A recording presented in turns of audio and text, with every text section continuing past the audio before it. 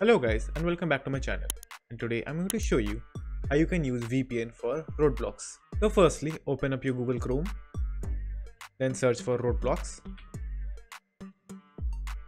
then click on Roblox then log into your account. Now you might be thinking why you have to use VPN for playing Roblox. So if you don't know, Roblox is banned in a lot of countries. So in order to access Roblox you need a VPN. Also, while using a VPN, it's also much safer and faster. And my recommended VPN would be NordVPN because it has over 5400 servers over across 60 countries.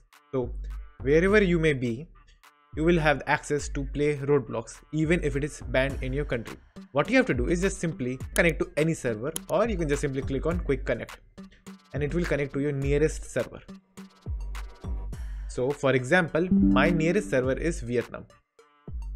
So after it is connected to the nearest server, just simply click on any game you want to play. Then just simply open the game in your desktop launcher and then you are good to go and have the access to play Roblox from any country possible.